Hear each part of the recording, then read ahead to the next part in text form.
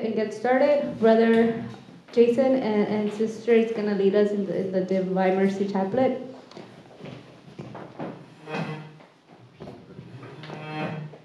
Okay, let's begin uh, Divine Chaplet uh, in the name of the Father, and the Son, and the Holy Spirit. Amen.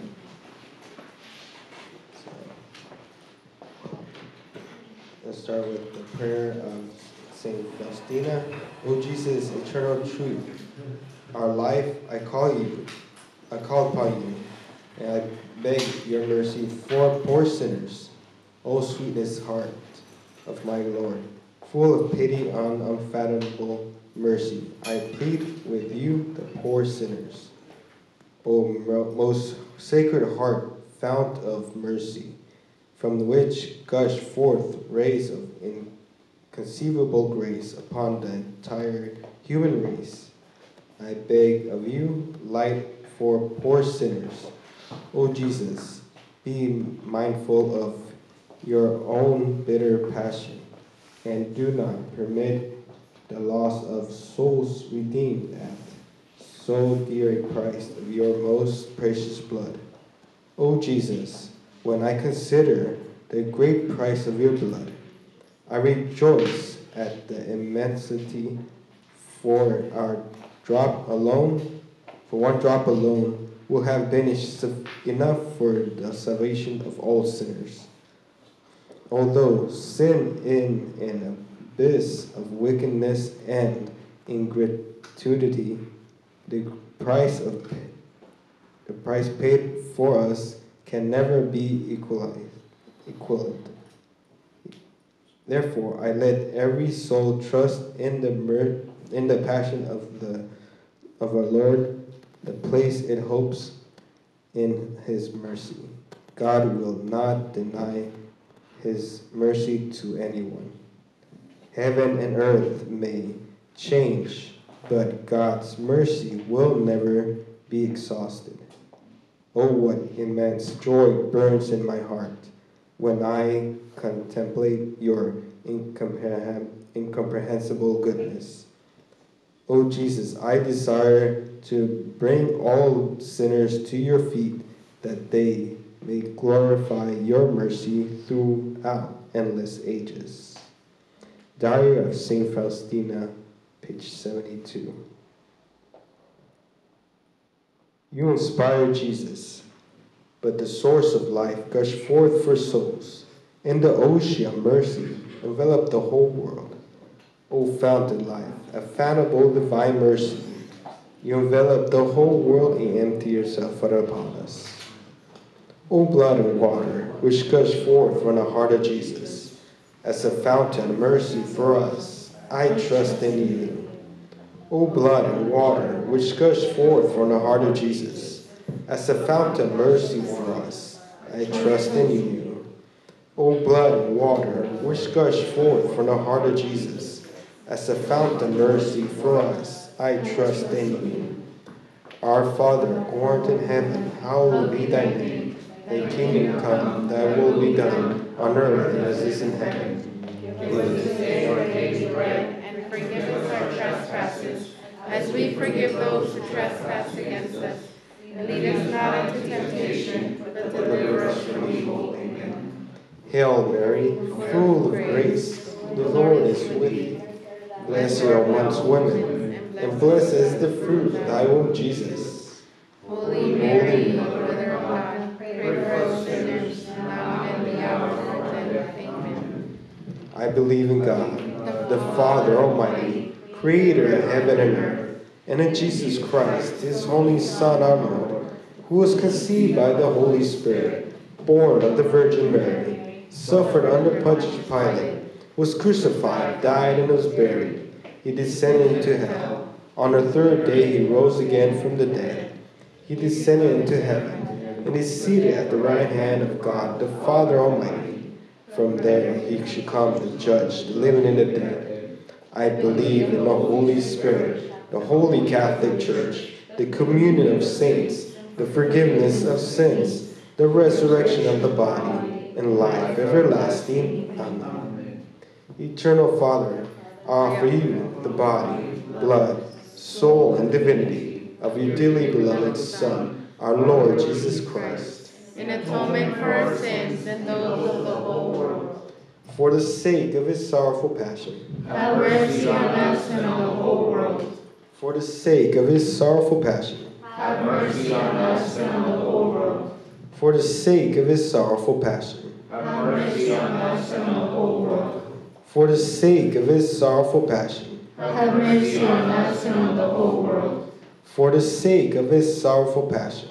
Have mercy on us and on the whole world. For the sake of his sorrowful passion. Have mercy on us and on the whole world. For the sake of his sorrowful passion. Have mercy on us and on the whole world. For the sake of his sorrowful passion. Have mercy on us and on the whole world. For the sake of his sorrowful passion. Have mercy on us and on the whole world. And for the sake of his sorrowful passion. Have mercy on us and on the whole world. Eternal Father, I offer you the body, blood, soul, and divinity of your dearly beloved Son, our Lord Jesus Christ. For the sake of his sorrowful passion. Have mercy on us and on the whole world. For the sake of his sorrowful passion. Have mercy on us and the whole world. For the sake of his sorrowful passion. Have mercy on us and the whole world. For the sake of his sorrowful passion. Have mercy on us and the whole world. For the sake of his sorrowful passion. Have mercy on us and the whole world. For the sake of his sorrowful passion. Have mercy on us and the whole world. For the sake of his sorrowful passion. Have mercy on us and the whole world. For the sake of his sorrowful passion. Have mercy on us and on the whole world. For the sake of his sorrowful passion. Have mercy on us and on the whole world. And for the sake of his sorrowful passion. Have mercy on us and on the whole world. Eternal Father, I offer you the body, blood, soul, and divinity of your dearly beloved Son, our Lord Jesus Christ, in atonement for our sins and those of the whole world. For the sake of his sorrowful passion. Have mercy on us and the whole world. For the sake of his sorrowful passion. Have mercy on us and the whole world. For the sake of his sorrowful passion. Have mercy on us and the whole world. For the sake for the sake of his sorrowful passion. Have mercy on us and on the whole world. For the sake of his sorrowful passion. Have mercy on us and on the whole world. For the sake of his sorrowful passion. Have mercy on us and on the whole world. For the sake of his sorrowful passion. For the sake of his sorrowful passion. For the sake of his sorrowful passion.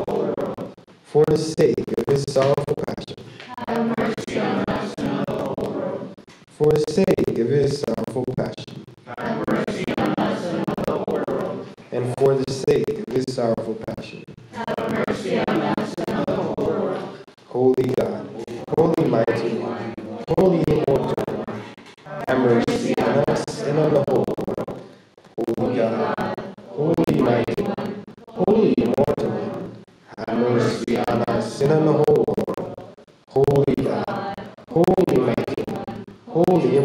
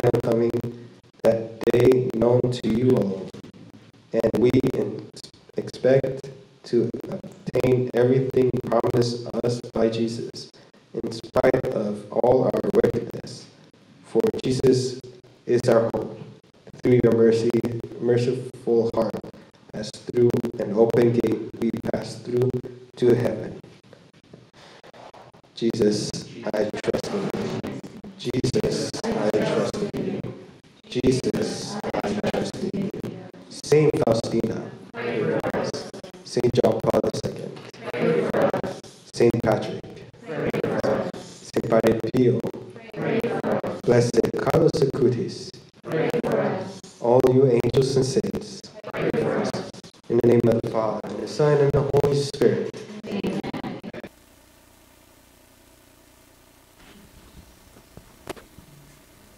Um, so I have a video with some quotes from Saint um, Padre Pio. Oh, that's my homie right there. Right?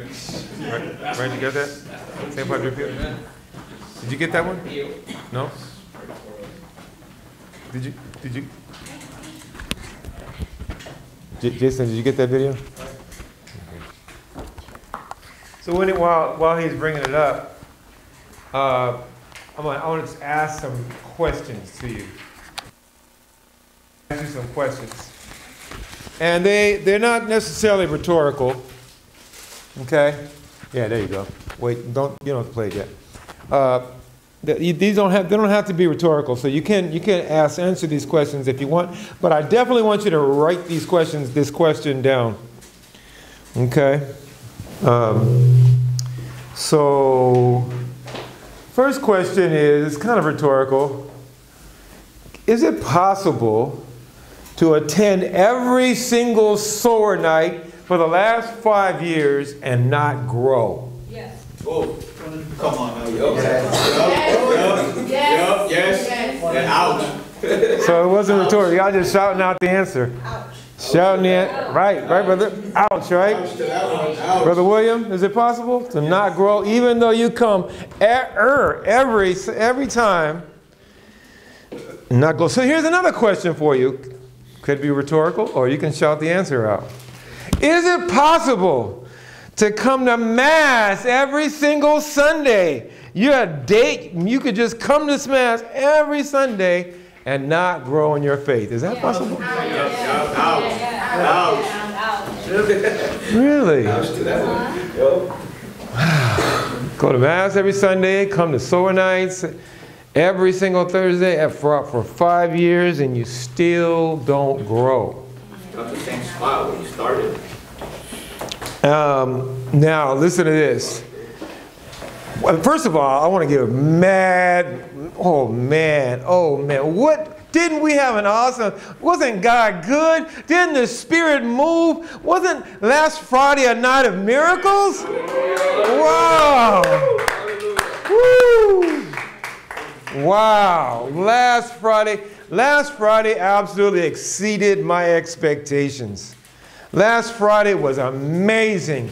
Last Friday was just blew me, just blew my mind. Wow. Wow. Half holy, half hood was in the house. Wow, man. He just, he just, he was like, he just came off the blocks. Right? He just came straight out, man. Was like telling his testimony straight out. Didn't have to warm up or anything, right? He came, he came ready. Wow. And then, not only did he just come out with this deep, powerful testimony, he started, he, that brother is a prayer warrior. He started, he started praying for us, started praying in the spirit.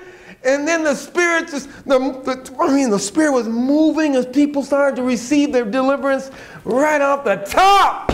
Woo! And you know what I call that? I call that a mountaintop experience, right? A mountaintop experience. Wow.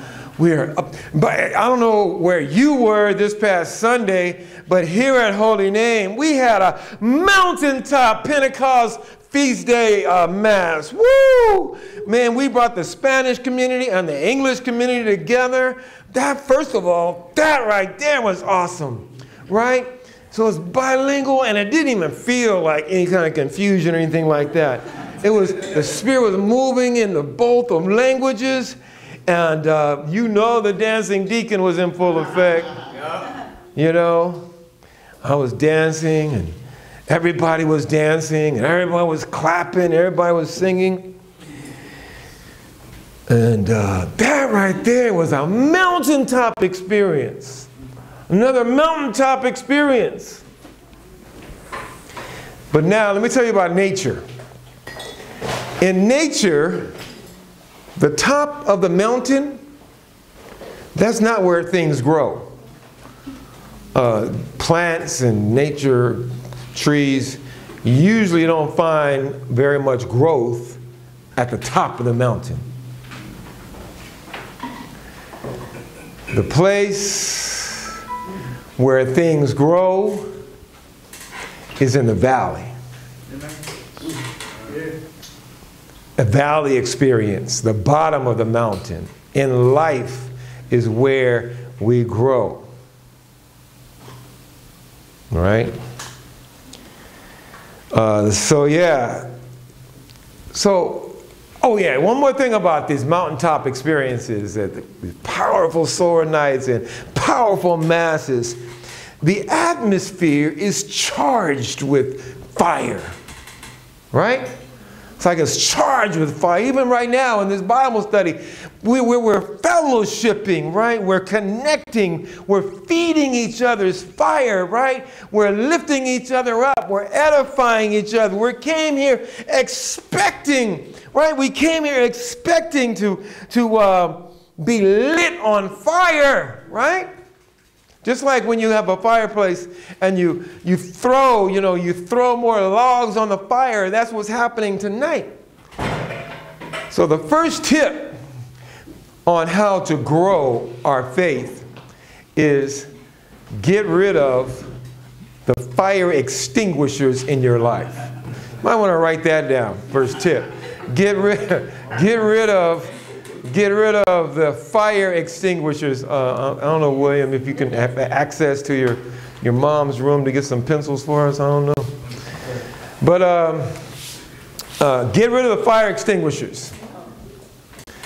And the fire extinguishers, metaphorically, are people, places, and things.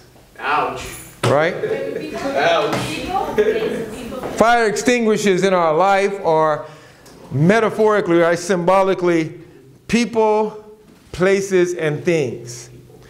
So what, what, when, when I say people can be fire extinguishers, we come here, right? We come here fired up. We come here excited. We come here feeling kind of radical. Then we go back to our world and people start, people, can anybody tell me how? How can a person be a fire extinguisher? They start stomping on you. Stop, stomp, They pretty much put out your fire. stomping on your fire, right? They're getting negative. air conditioners What's that? at work, we call those the air conditioners of your life. Cool off, cool off. Brother Williams got some pencils for you guys if you need it. Uh-huh. Right. And what kind of things do, what kind of things do fire extinguishers do or say? What do they do or say? Are you going to be a man of God and you're still acting the same way you did a couple of months ago? You're a hypocrite. And you say you You're a hypocrite. It's, and, and it's only been, I, I know who you are. It's only been what? What, uh, Brother David, new, new member? It's only been what? How long has it been for you? When, when did you get baptized? Two months ago. Woo! So, so the fire extinguisher in, da- in Brother David's life would be, oh, come on. Can't be that real. It's only been two months. You're changing everything that fast? Give it a couple weeks, you'll be home. Right, yeah. Come on back, you know. Come on back to the real life. Right? And what about uh, people, places? What about, what, is there a place that's a fire extinguisher for, extinguisher for anybody in here? Could be your own job and your own work, Your coworker. So here's the deal, David. The, lic- the liquor store could be a fire extinguisher. Temptation right there, the liquor store. The liquor store could be a fire extinguisher. As a matter of fact, that just reminds me, uh, for some people, just smelling, smelling certain things could put out your fire, if you know what I mean. Smelling that, that good herb, you know. That devil's grass. They're calling it the devil's grass, Deacon. You know, you- Walk down the street and just don't inhale. Don't inhale when, when you're walking down Cimarron. Walking down Cimarron, don't inhale. You just, just hold your breath and you, your fire won't go out, right? Uh, I used to have a, uh, when I was working with the young people, I used to have a saying, doing the right thing with the right people, with, in the wrong time, in the wrong place becomes the wrong thing. Does that make sense? Does that make sense, you guys? It's fire extinguisher. People, place. Or can you think of any things that become fire extinguishers? Certain music. Wow, I remember one time I did a uh, high school retreat. I did a high school retreat one time. I used to be comp, comp, I used to be campus minister at St. Bernard High School a long time ago, and we this one guy he invited man he did an altar call at the retreat and he they, they, responded too he invited everybody to take all their music that was not glorifying god that was like a fire extinguisher and just just throw it on the altar they just threw all their you know their their uh, gangster hip hop or their or their uh, profanity, any profane music. As a matter of fact, some music is actually pornographic, right? You just threw it all on the altar. And they were like, okay, I'll get it, I'll get it later. right? And guess what that brother did? He said, he said, no, you ain't getting this. He just smashed it all. Right?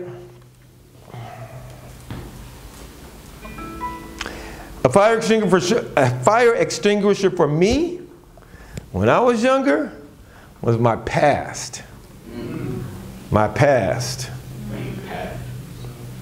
I had to literally leave my past behind in order to grow in my faith. I had to leave my past behind. I'm not talking about, by the way, um, I want to ask you another question. You might want to write this one down as well. Um, yeah, think about this. So what I, I want to be, the role I want to play tonight for the next 30 or 40, 40 minutes is, the role I want to play tonight is kind of like a, a coach, like a coach or a trainer, right? I, I, I remember one time I signed up to join 24 Hour Fitness and you know, the trainer, he comes up to me and he says, what do you, you know, what do you want to gain? What do you want to gain if I'm going to train you? So what I want you to write down and think about is, what, what do you want to gain from growing spiritually or growing in your faith? Um, there was a, a book that came out a long time ago, maybe about 20 years ago, and it really impacted me big time. It was called The Prayer of Jabez. Anybody ever heard that before? Well, you need to look it back up again. Look, it's still available, it's like 10 bucks. And the, the premise about this book is there was a man in the Old Testament by the name of Jabez, and um, uh, he was born in the tribe of Judah, the, and the Judah is the tribe that the, the ones that led the armies with praise and worship. With they were the worshipers, right? But his mom was had so much pain in the delivery that she actually named him pain, pain. and suffering. That's what Jabez means, pain and suffering. So he had he had a label he had a label of pain and suffering as a child, right? But, but what happened in spite of his circumstances, right? In spite of his circum. So, what I want you to think about right now is in spite of everything, in spite of your circumstances, in spite of the conditions, in spite of anything, you might be labeled like Jabez was as pain and suffering you might be feel like you carry that around on you, right? What Jabez did is he was bold in his prayer to God. And he said, Bless me. This goes like this Bless me indeed right? Bless me indeed. And what that really means is, I don't care. I don't care what they call me. I don't care how I'm labeled. I don't care what my past is. I don't care what I've been stuck in. I want, I want you, God, to bless me indeed. In other words, what would you, what, what, what do you imagine? What do you imagine your life would be like if you really got serious about growing in your faith. And God, um, when, when, but when we say bless, you know, we're not talking about when you sneeze. You know, when you sneeze, people say bless you, right? That's not what I'm talking about. When, when Jabez asked God to bless him, what he was asking for was a radical uh, gifting of his, his the, the extreme presence of God in such a way that his life would never be the same again. That's what a blessing is. You know what you know it comes from? It comes from the, the, the, ancient Hebrew tradition where the you know the father passes on the blessing to the first, and so they all line up and hope to get, get their blessing. It's like a, it's like a um, inheritance that will give you, make sure that so you know what it's like? It's like um, the, the husband of uh, what's her name? Uh, what's her name that just died? Uh, Tina Tina, the husband of Tina Turner, Turner. got blessed. he got blessed big time. Like I think it was 150 million dollars worth of a blessing. it was his inheritance. The husband received Tina Turner's inheritance. Right? That's a blessing. Right? So, so I want you to write down, maybe right now, what do you think your life would be like if you got serious about your spiritual growth, got serious about your, um, your faith growing, your faith growing? I think right now we need to get really, really uh, radical and serious about growing in our faith. I don't think that it's enough just to come, you know, we're not party planners. We're not event planners. We're not, we don't, you know, thank God, you know, God blessed us. God made it possible for us to have a cool, have these cool things, you know, these tech things and all that. But that's not what it's all about. If we're going to hear from Padre Pio right now, after I make this one more comment. If we're not growing, I don't want to be a part of it.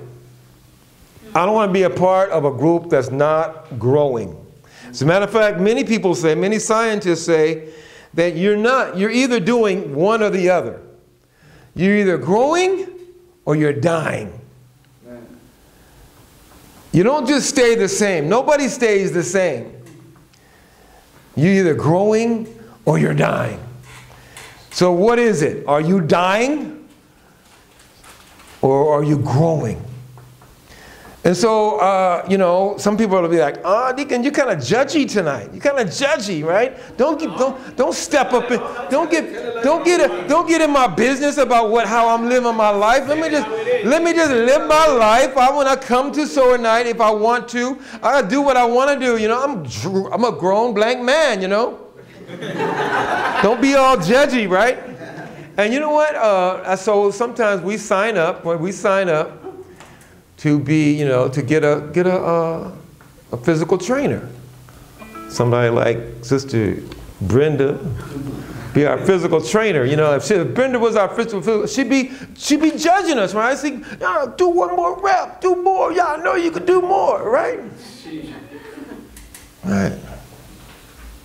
I know you can do more. I know there's more here. I know there's more for you. There's more for you. Uh, hopefully, we'll get through these scriptures today and we'll discover that we should be right. There should be leaders rising up. There should be teachers rising up. We should be dis- discovering our destiny and our purpose rising up. And by the way, this is not where we grow. This is not where we grow. And as a matter of fact, the altar call is not where we grow. Worship is not where we grow. This is what should be happening. We should be, everybody here should have a testimony on their lips. Every single buddy here should be bringing a testimony to this place. That you have a testimony because you've been through a test. Mm. And if you're scared to go through a test, you're scared to grow. Man, I'm like. God, God, God, God's not, God, God's not going to put you into a, God, nobody's, nobody's going to put you in on through a test and then hang you out to dry. No, this is what I believe. That's what I believe. God puts us through a test. Listen to this. God puts us through a test so that He can be glorified. Now, I know you're probably looking at me like I'm crazy. Because I know I would if I was sitting there listening to you tell me this, because it doesn't sound right. It doesn't sound right. I'm going to go through hell, right? I'm going to go through mess, right? So that God can be glorified? That doesn't sound like what Sister Yesenia was talking about. A God who has a heart a heart of love and compassion for me who's going through mess in my life. He wants me to go through a mess so that he can be glorified.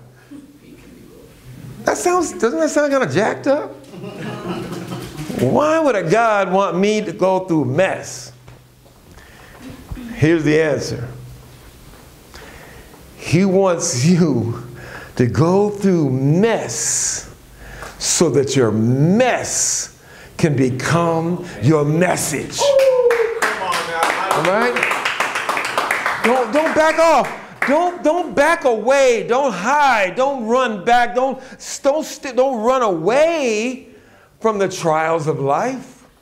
Step into it and say, ah, I can do this. As a matter of fact, this is another thing I want you to write down.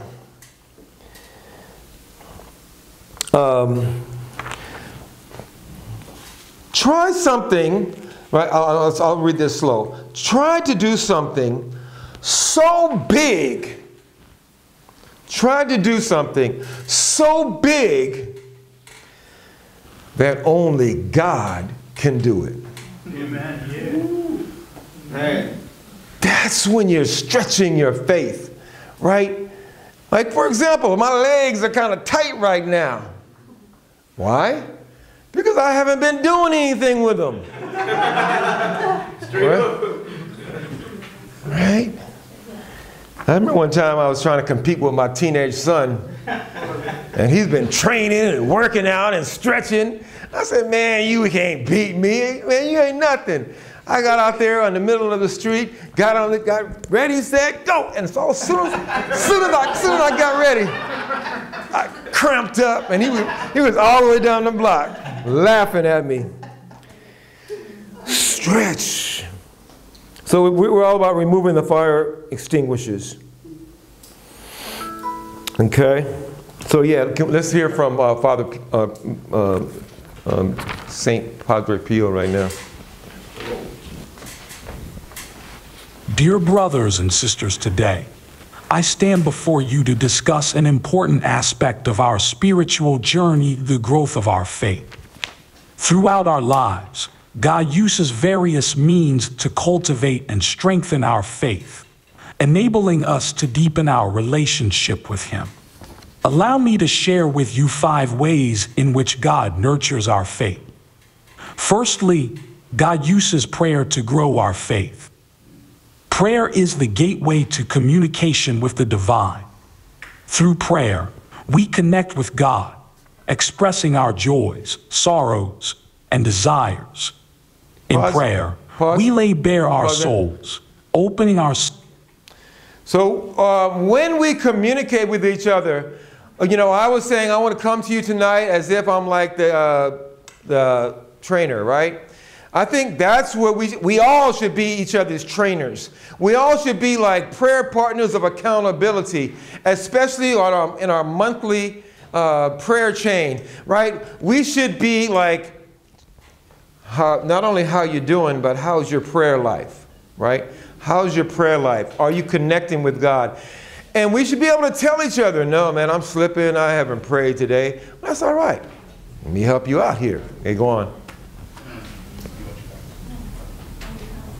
You can continue. selves to God's presence and guidance. It is in these moments of vulnerability that God molds our hearts, aligning our desires with His will. Prayer nourishes our faith, deepening our trust in God's providence and allowing us to witness the power of His answers. Secondly, God uses Scripture to grow our faith. The Bible is not merely a collection of ancient texts, but a living and breathing testament of God's love and wisdom. Within its pages, we discover stories of faith, hope, and redemption. Through Scripture, God speaks to us, revealing His character and purpose. Pause. As we st- So, I don't know if you guys have a Bible that's decorating your house. Like it might be on the coffee table or somewhere, all dusty. Uh, and also, I don't know if you ever heard the stereotypical idea or narrative that Catholics are not Bible. Catholics are not Bible believers, or Catholics don't read the Bible, or Catholics don't use the Bible. We need to break that narrative right now, you know, uh, or Catholics don't memorize the Bible. uh, that's what we are. We're Bible people. We, we have the, the, the, the beginning of Mass. You guys know what the beginning of Mass is called? It's called the Liturgy of the Word. The Word, right? As a matter of fact, uh, Jesus is alive at Mass in three places, not just the Eucharist. Right? He's alive in the Eucharist, he's alive in the Word of God uh, proclaimed, and he's alive in the, in the people gathered. So we are people of the Word. We are people, should, we should be consuming the Word every single, every single day. Figure out, figure out how you can. And here's one more thing I want to remind you. Don't, be caught, don't get caught up on um, great for the sake of good. Guys understand what I mean by that? Uh, don't, don't get caught up on great for the sake of good. What I mean by that is, um, I, I, I, do that sometimes. Uh, I'm like, I, I want to get up at five, you know, and I want to spend at least a half hour in, in reading the Bible, and then I want to spend another 20 minutes in, in prayer, you know, I want to pray in tongues. And I don't get to any of it, right? Then I say, oh man, shoot. Another day, another day gone. So, uh, priest, I went to confession. I talked to that about a priest about that one time, and he said, "Doug, a little is better than none. You know, do something, eat something. It's like you. It's like uh, you know, Eating, you have to eat the word every day. Do something with the word of God. And the more you eat it, the more you'll, you, you know, it'll increase your desire to do more and more and more. Okay, so that's what we are. Continue.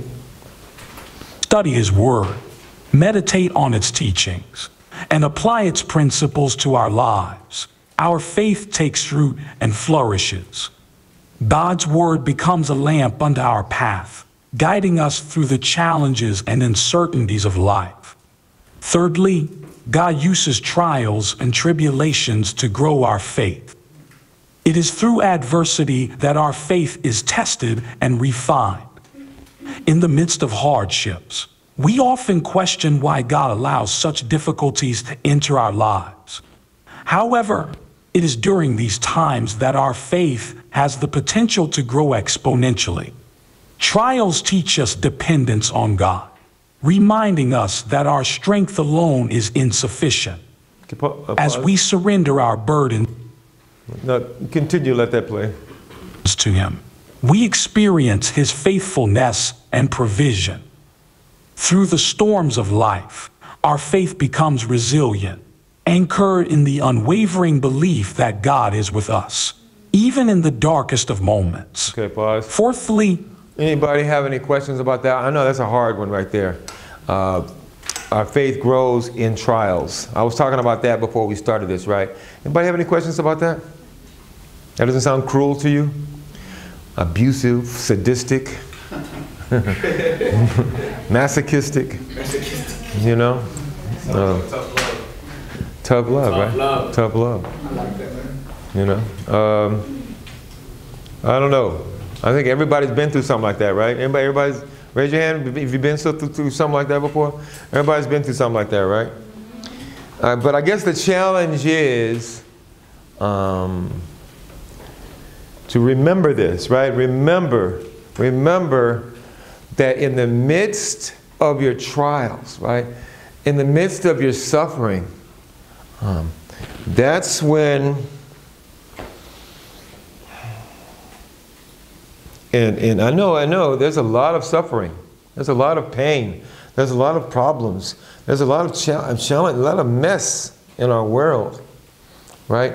But what we're, what we're really trying to say is this is the moment, this can be the moment when um, so there's two different there's two different definitions of integrity, right?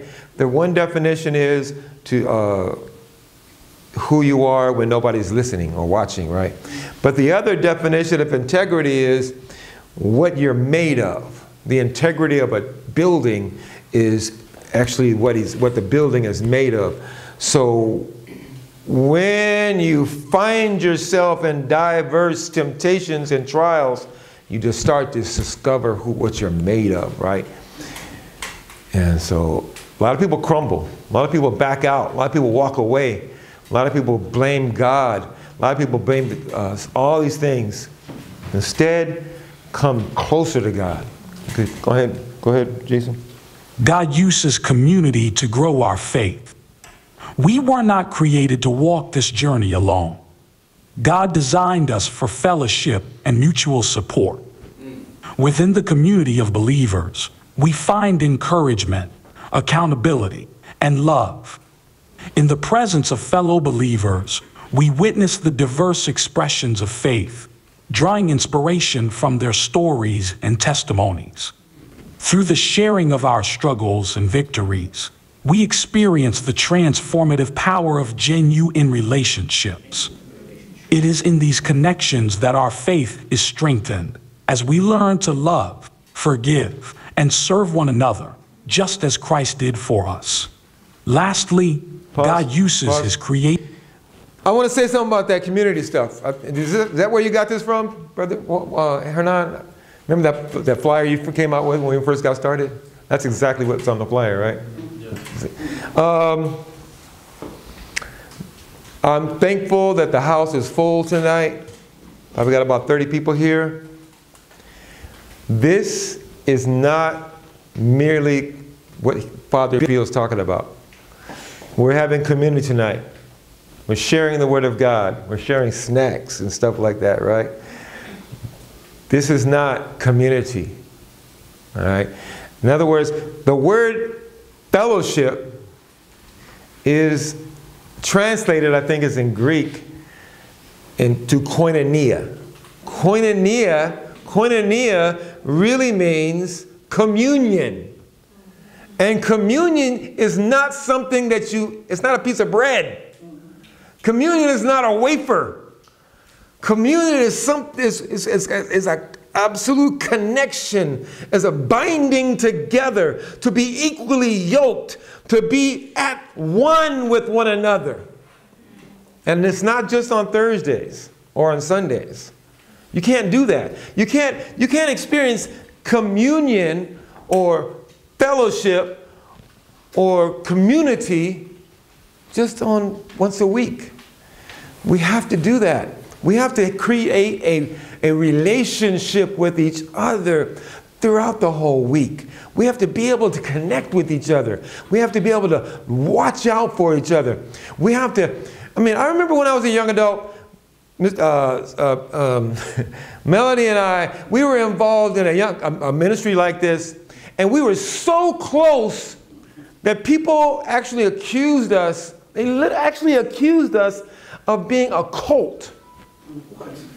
You know, because we were that we were so like we cared about each other so much and and the outward expression of our caring for each other was way different than the frozen chosens who go to church every Sunday. You understand what I mean?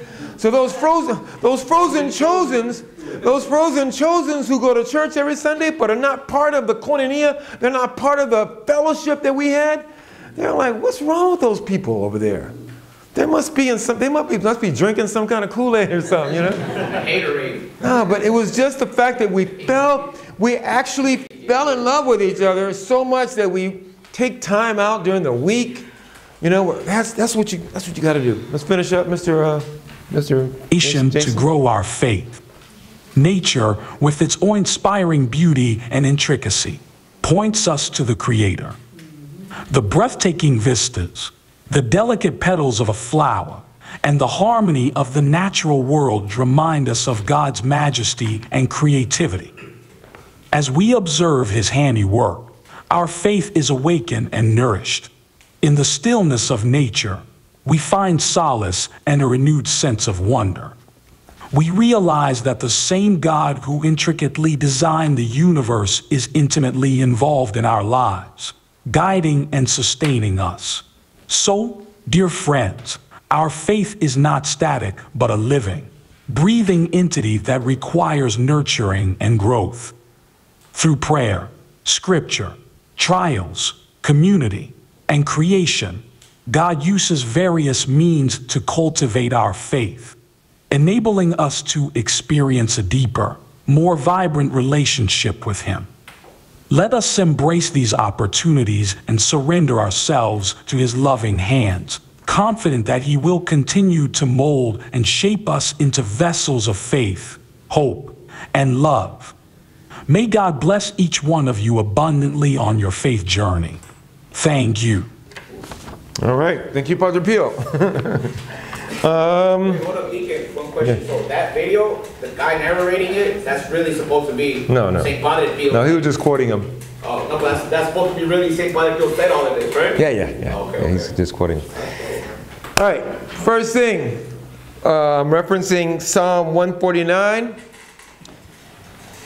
I want to cover a lot in the next few minutes. Psalm 149 is, yeah, let's go there. Let's go to, let me know when you get there. Psalm 149. About to go, we're about to go deep in the ocean right now. Swim deep into the ocean right now. Psalm 149.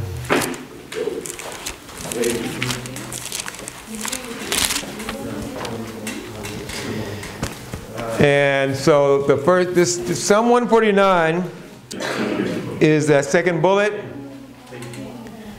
And it's all about, I'm gonna, I'm gonna start talking while you're turning.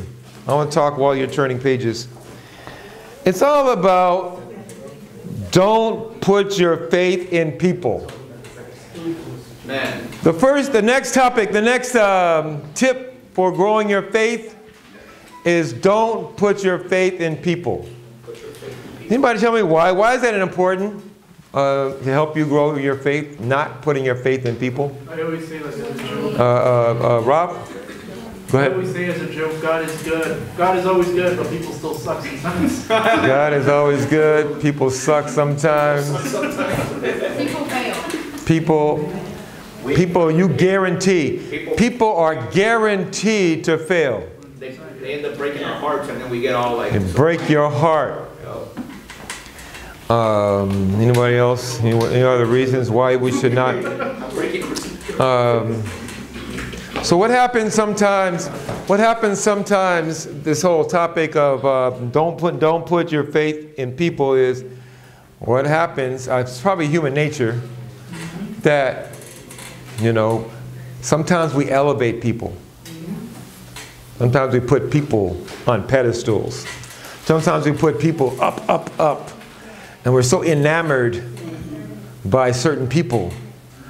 And then when they do one little thing that's not, doesn't fit into your category of expectation, They crumble, right? bam, Crumble. you're, you're can, they're canceled off your hero list.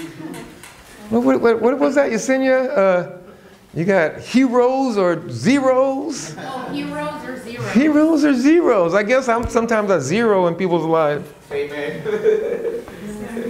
Right. So let's go ahead and look at 149. Praise. Uh, you might want to read. Help me read. Okay, go ahead. Nice and just read nice and loud. Hallelujah. Sing to Yahweh a new song. Sing his praise in the assembly of his saints. Let Israel rejoice in his maker. Let the people of Zion glory in their king. Okay, pause. So right now, the focus is on God, right? By the way, I don't know if you guys saw it, but what what they call me? What they call me for it, Ralph? They called me a her- heretical, a heretic, a heretic. they called me a heretic. I don't want to remind you, I just want to say, because, you know, I remember when I was getting my master's, I took a class in um, St. Augustine. And St. Augustine, he was very strict about if anything, right, anything is not lifting up, right, if not focusing on God, including clapping, including dancing, including uh, moving. don't do it, right? That's why I think that's where we get the whole idea of don't clap in church and all that kind of stuff. Yeah. But we said that we sang this one song at the end of Mass. When the Spirit of the Lord comes upon, like William sang last Thursday, when the Spirit of the Lord comes upon my heart, I will sing like da- I will dance like David danced, right? And by the way, uh, David's wife, right? Was it David's wife? David's wife called David heretical. She was like, What's wrong with you? Your clothes are coming off. Your, your clothes are coming off. You're dancing so much. and didn't David's wife get punished for, get, for, for acting like David was wrong? So, whatever we do, all I'm saying is, whatever we do, it should be lifting up and edifying and focusing on God.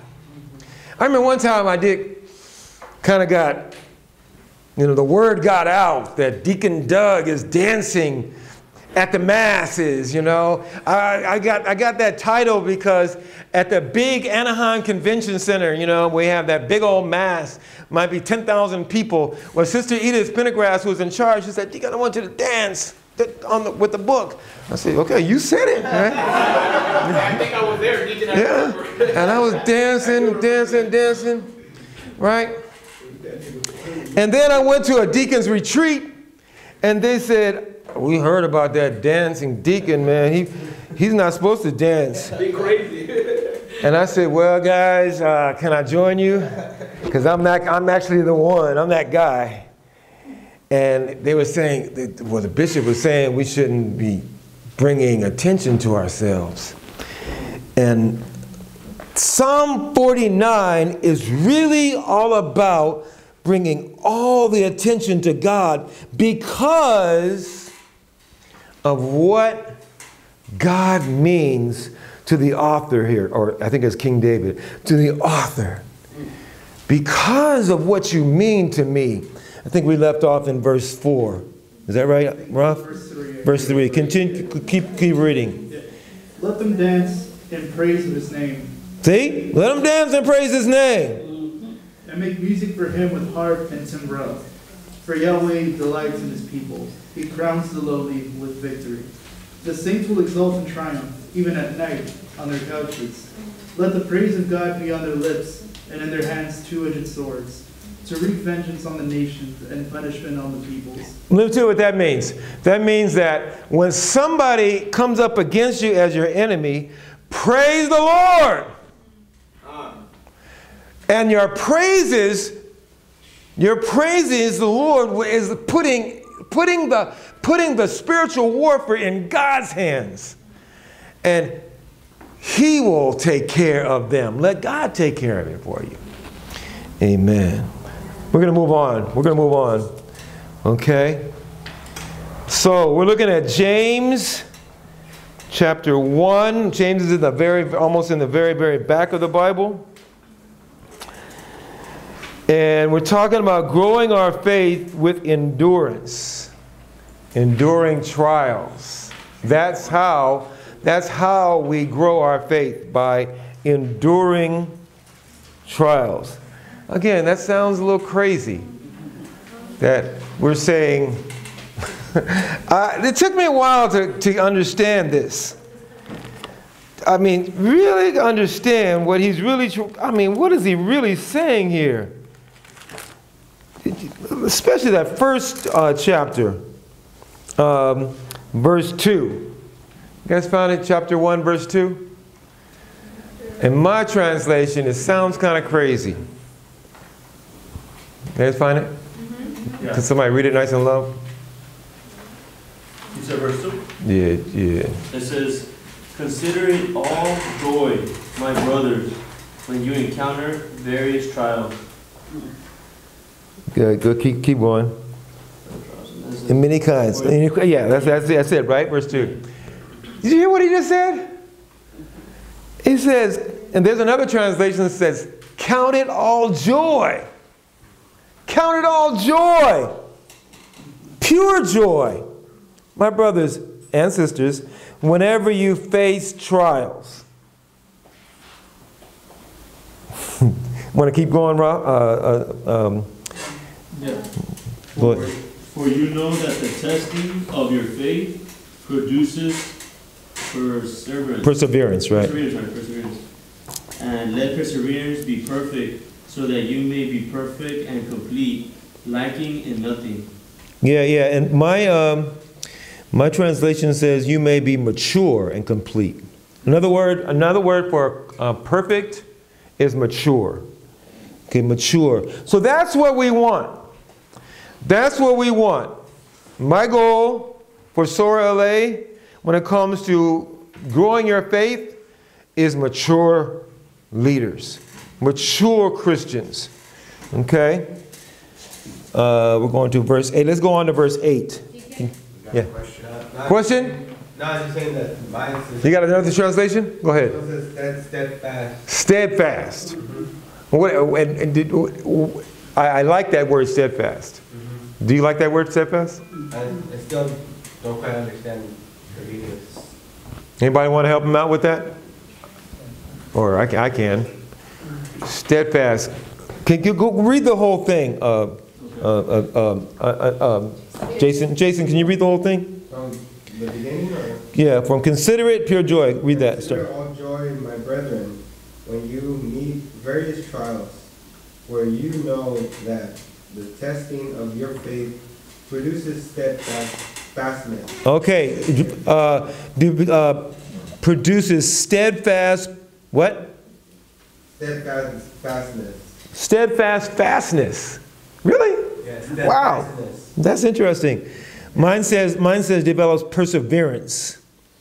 Per, and then continue. Fastness, what? And let steadfastness have its full effect that you may be perfect and complete, lacking in nothing. Mm-hmm. Okay, let's talk about that. Yeah. Well, steadfast, steadfast, steadfast means firmly fixed in place. Did you look it up? Firmly fixed. Don't quit, right? Stay firm. Steadfast. Don't don't slip. Um, anybody? Uh, I know when I was in high school, I was on the um, long distance track team. I, I, I ran long distance. You know, endurance. I was- So the, the key for us was endurance, not not sprinting. Although the sprinters were the famous ones, right? The sprinters were the popular ones, but we were the ones that had to stick to the end. Um, that help you out, Jason? Uh, want me to keep reading? No, I said, did that, you got clarity on that? Yeah. We're talking about growing, right? We're talking about growing. And really what we're getting at here, James, he's trying to get us to grow up. Grow up. Ouch. Right, right. Some people go to Mass every Sunday, like I said, go to Mass every Sunday, come to Sower Nights on Thursdays, and don't grow up. Right? Deacon, Yes. I think God is molding each one individually. You cannot just say that they're not growing at all, because in the eyes of God, they're growing. He's working on them. Right. I sound, Maybe their perfections, the way you want to see them, but he's making sure everybody grows. so you're saying I'm kind of judgy, aren't, that's, that's you're saying I'm judging, right? I mean, you're using the human sense, Right. what think, but Right. doesn't see it that way. So you say, are you saying I'm being kind of judgy, right? No, I didn't say judging, I just say, well, that's just your opinion. Well, let me, this is what I'm gonna say, guys. You are judging. Well, I'm gonna, what, what I'm saying, what I'm saying, this is what I'm saying. Right now, right now, I'm being judgy. And I know some people, some people might not like that, okay? You might, some people might not like me coming off judgy, right? But what I'm saying is, and I think that's what James is saying here. As a matter of fact, my, one of the things I like about St. James is he's definitely judgy. He tells it like it is. He says, you know what? You're going to grow or you're going to die. You know what I mean? And there should be evidence of your growth. Amen. It should be evidence of your growth, yeah. You gotta just say this. What, what you say then? What you said? God will Only God would know, right? individually. We're Mhm. not, we don't have the same call. Yeah, you never We're in know. the same room and we have, there's so many calls, so many But I think the general, gifts, talents. I think the general point you're trying to make is that we can't say that some people are dying and some people are growing, right? Yeah. I'll- I'll- Live with your siblings, I'll like just- my sisters and my brothers, we're not like the same thing. I'll just say Right. this, But I don't think that's what the, the, the word of God is saying. He's saying in your individuality, in your uniqueness, you have to grow. Mhm. Who you are made and how you are made. Right, right. You have to grow. And it's your, it's your, I'm not, I'm not telling you if you're dying or not. All I'm saying is, we need to take a look at ourselves, right? Uh, there's another passage I think we're hopeful we get to in James, where it's saying, it's saying the Word of God, the Word of God is like a mirror. And we should take that and look. Yeah, yeah, yeah. Go ahead, sorry. no, I'll, I'll just say this, you know, I'm gonna throw myself under the bus real quick. Um, Definitely, I'll say that this, being in this ministry, there was a time where I grew a lot, where I grew to know the Lord more, and I grew in this community and everything, and at some point, I got lost in the sauce, if you will, Mhm. as some musicians do, as some, uh, people who pray and stuff like that, we to tend to, I I got a little cocky, I got a little like, oh, see, like, I didn't, I tried not to show it, but I definitely got a little like, oh, the Lord uses me a lot. When I sing, when I get up there, the Holy Spirit moves, they see what I'm doing, that I'm saying, when I sing, when I'm on a microphone, when the Lord tells me, Right. He moves. And once that thought pattern came in, once I let that come into my mind and I forgot where the source of that came from, I began to decline. A Mm-hmm. lot of depression, a lot of anxiety started coming back in. A lot of self-esteem issues started to come back in because I noticed the more I thought about myself as a source of that, the more, the less that the Holy Spirit moved. And I began to think, what the hell is wrong with me? Right, What's wrong with me? Does Yeah, God just not love me anymore? Yeah. I began to die. Right. That's And good, man. I'm trying to get back up from that, you know? Yeah, that's good Yeah. stuff. That's really good. So I get what you're saying, you know. Mhm. A lot of us get really cut up. We can grow, grow, grow, Mhm. grow so much, but if we forget to focus on what made us grow in the first place, we Right. begin to die.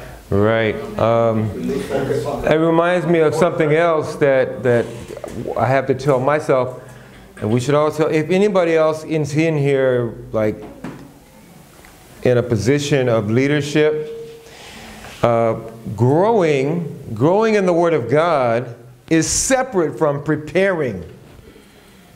If you're, if you're gonna like present something or help lead something, that's not your, your process of growth. In other words, I have to, pre- I prepare these scriptures for you. That wasn't my prayer time. That was my prep time. So prep time is not my prayer time and meditation time and going deep in the Word of God. So uh, here's an example. So when I do that, when I go deep in prayer and meditation, contemplation in the Word of God, in addition to preparation, it's, it's like the Word of God, just, and when I present it, the Word of God just flows. It just flows through me because it's been so planted in me like that. Okay, anybody more, any more comments or tomatoes you want to throw? Okay, let's read, let's go on to verse, uh, let's go on to verse 8. Did we go all the way to verse 8, Hernan? No, Let's continue to verse 8. since he is a man of two minds, unstable in all his ways. Oh, wait, wait, yeah, where, what verse is that? That's really powerful. Oh, that, oh, wait, did we, did that, Up on five. did we skip? We're on verse 5? You wanna read five? If any, yeah, let's go on, start going. But if any of you lacks wisdom, he should ask God, who gives to all generously and ungrudgingly, and he will be given it. But he should ask in faith, not doubting. For the one who doubts is like a wave of the sea that is driven and tossed about by the wind. Okay, pause. You guys get that? Yeah. When you ask, believe. Right? You must believe. What does believe mean? Believe means I believe that if I sit on this chair, it's going to hold me up. Right? I'm not going to go like this. Oh, I hope so. I hope it holds me up. Believe. Believe. You must believe. And believe with our hearts. And if you don't, this is so relevant. This is super duper relevant right now. Because those who are not maturing in their faith, if they're not growing in their faith, if not, they're not growing in the Word of God, what ha- this is what happens. Man, just try some yoga, man. If you're feeling a headache, yeah, that, that makes sense. No, it makes sense, doesn't it? You, you need to stretch your body out so you won't have any pain. Try a little bit of yoga.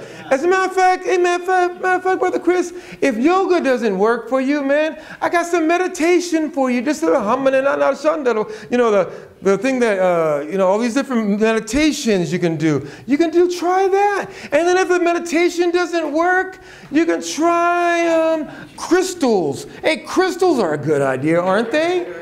You know?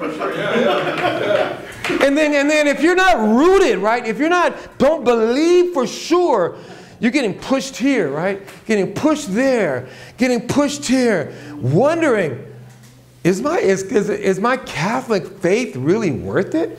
I, I know, I've heard lots of young adults say that. Is it really worth it? Is it really giving the power I need? But you have to believe, right? Uh, can- can- let's go on, Mr. Uh, Hernan. Okay. For that person must not suppose uh, that he will receive anything from the Lord, since he is a man of two minds, unstable in all his ways. if he is he is double-minded, right? Double-minded, unstable in all of his ways, he said, you're not even going to receive anything. That's what I mean. James is like in our face. He's like kind of judging us. He's telling us, if you don't, if you don't really believe, if you're not formed, if you're not, if you're not mature, don't even expect to receive. He- I didn't say it. St. James said it, right? St. James said it. Now let's skip over to verse uh, 22. That's uh, same chapter, right? Same chapter, verse 22. All right, I just want to say, be, be doers of the word, and not hearers only, deluding yourselves. And mine says deceiving yourselves. Deceiving yourselves. Be, do not merely listen to the word, deceiving yourselves, okay? You guys, you guys understand that so far? Be doers of the word, deceiving yourselves, not just listening. Uh, somebody was asking me, uh, well, I'll, I'll get to that later. Go continue, uh, uh, Hernan. For if anyone is a hearer of the word, and not a he is like a man who looks at his own face in a mirror. He sees himself, then goes off and promptly forgets what he looks like. But the one who peers into the perfect law of freedom and perseverance, Con- perseverance, or, con- or continues, says continue. and is not a hearer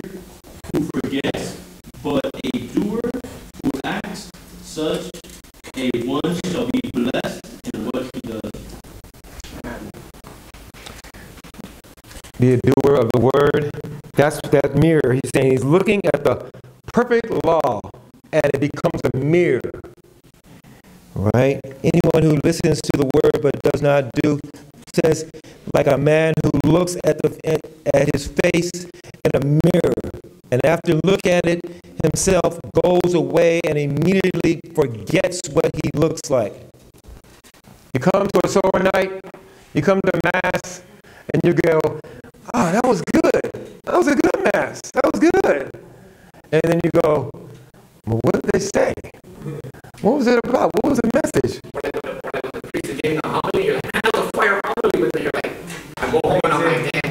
I can't, remember.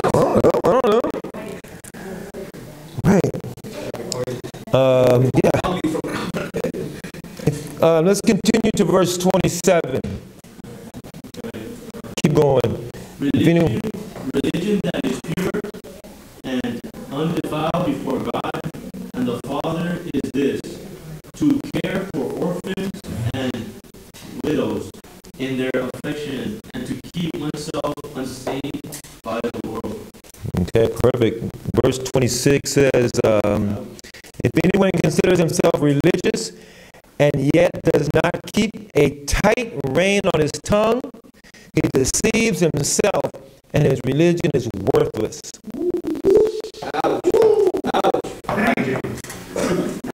So we're trying to grow. I'm not judging you. I'm not judging you tonight. St. James is coming strong. He's coming strong. Okay? So uh, right now it's 920. It's 920 and I have lots more scriptures here for you. it's 920. So I'm going to kind of review, summarize these really quick for you. Uh, these verses, these passages in the next bullet is talking about receive the word daily. And the reason why we should receive the word daily is because we need to brainwash ourselves. That makes sense? Our, our brains, our spirits, our souls have been corrupted. Uh, you guys understand what wicked means? The word wicked actually means twisted. Uh, when you see a wicker, a wicker uh, piece of furniture, is when they take the the, the things and they twist it one way or another. So, in other words, wicked means that you might have a little bit of truth, and it's twisted into a lie. Like, for example, love is love.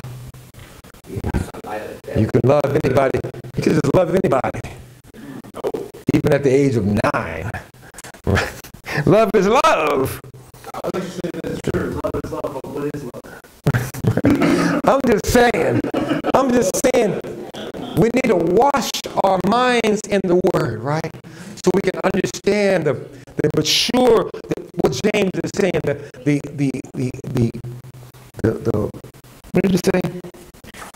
righteous Word, the, the, uh, the true Word. Amen. Feed on God's Word like it is real food. Ephesians talks about um, moving from milk to the meat of the word. What happens is when babies can't handle meat, right? They start first. They start off with milk from the mother, right? But if we continue, I know my daughter believes in this. I don't know. She, she was feeding her son, her daughter at four years old from her breast. But there comes a time, there comes a time when you start to desire the meat, right? You start to desire some real, filling, solid food that's going to keep you sustained and going to keep you healthy, right? And strong. So when we move and when we grow and mature in our faith, we need the meat of the word. And so a, a symbol for the milk of the word is um, just a, you know, just a, a, a scripture a day. Or keep the devil away. You know, little, little easy. Everybody knows John 3.16. God so loved the world that he. But the, the meat of the word is James. We're saying time to grow up, time to get serious, time to get some real meat. Okay, next bullet, real fast. Believe that there is more. Believe that there is more. Enlarge your territory. Stretch your faith. Believe that God has a plan and a destiny for you. If you, like you said, if you're going to go into the gym, start working out and expect to get some results. I don't man. I, like I said, this is this is growth. This is what growth. Uh, it's getting late, so I'm going to tell you what growth really means to me. Growth means coming hungry. Growth means getting.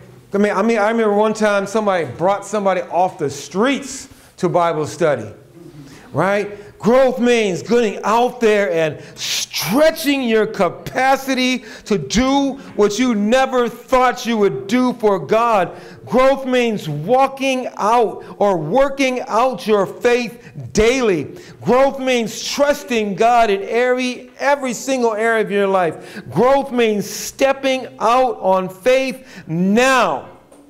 I'm going to step out on faith. I'm going to trust God with my life. I'm going to trust, I'm not going to doubt. I'm going to believe that God will make a way for me. And I'm going to take these scriptures and I'm going to apply them to my life. That's growth. And by the way, here's another thing I would love to hear you say. I'd love to hear you say, I did it, deacon. I tried it and I fell on my face. Right? I've done that. I've been there. Right? And that's like, that's like, um, you know, that's you're in the battle. Yeah, you're fighting. You're doing it. And then, then I'm going to say, good, well, get back up again. Don't stay down. Get up. Keep on. Keep on. You know, we're, uh, we're, we're, we're on a battle, right? We're on a journey. We don't need to stay on our assets. Uh, I want to say one more quick. right, we're to stay on our feet. We're going to make it to heaven on our feet, not on our on our buttocks. I just want to say one more thing about that second to the last bullet, then we will wrap up real quick. Um, the second to the last bullet is in John chapter 11. It's a story of when Jesus comes to uh, bring his probably his best friend, right? His best friend, best friend Lazarus, Lazarus. right? And is that now that's everything we've been talking about, right? Jesus hangs back and waits through they go through trials and tribulations and scary. They're scared that he's dead. And why didn't you come when we called you? What, what's wrong with you, Jesus? What's wrong with you, God? Come on. That's what Martha was saying, right? Come on. And uh, here's the thing that we got to get before we go. Uh, the topic here on this bullet is don't block your miracles. If you really want to grow, don't block your miracles. In other words, let them flow. Let the miracles flow. Let the glory of God be evident in your life. Now, here's how you do that believe before you see. Jesus said, Jesus said, did not tell you. He said, did not tell you that if you believe, Martha, Martha must have been like, what the heck's wrong with you, Jesus? What's wrong with you, you know? Can't you see? Can't you see that he's dead? Can't you see he's been dead for three days?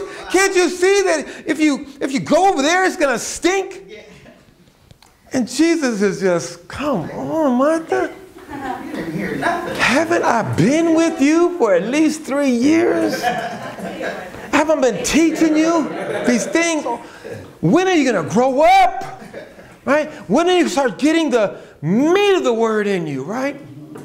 You've been with me every day, coming to Mass, going to Sower nights, and you still don't believe. Right? Ouch. Jesus says, Ouch. Didn't I tell you that if you believe, then you will see the glory of God? And the glory of God is the manifest presence of his supernatural miracle working power in your life. That's growth. That's what I want to see. That's what I want to see in Sower LA.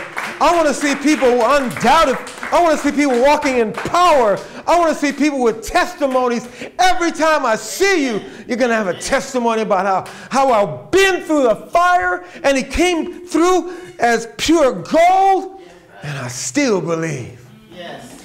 Lazarus, he said, Lazarus, come out. And they had to release him. They had to untie his, his, uh, his cloths. Lazarus came out. And he was set free. I don't know what Martha said after that. She probably became a believer, right? Oh, yeah. I mean, she really she really believed, but it's just like Thomas, right? It's just like Thomas. Thomas doubted, right? He didn't believe.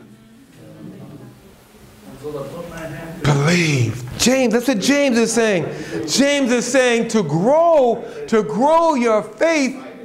It's almost like just, you know, if you just getting up. I want to invite everybody to get out there.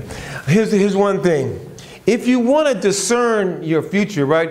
If you want to, if you want to discern your calling or what God wants to do with your life, don't just sit here and think about it. Don't just pray about it. You know, get, get, be about it. Get out there. You know, even here's here's what I want to say. This is what I want to say. 9:30. I want to, this is what I want to say. If you think, if you even think a little bit that maybe God is calling you to teach, teach. If you think a little bit, if God is calling you to sing, sing. If you think just a little bit, maybe God might calling me, be calling me to serve uh, in the homeless ministry, do it. In other words, err on the side of faith. You know, that's like the ancient, I think it's a Chinese proverb that says, if you, you know, jump or leap and your wings will appear. Right? That's what the eagles do, right? The eagles kick their eaglets out. They literally kick them out of their nest. And as they're falling, as they're falling, they start to wonder, what's going on, what's going on? And as they wonder, what's going on, what's going on, as they start shaking, and so start shaking their wings, right? They catch the current. They catch the current and they start to fly. Right? Time's up, guys. Let's stand up and pray.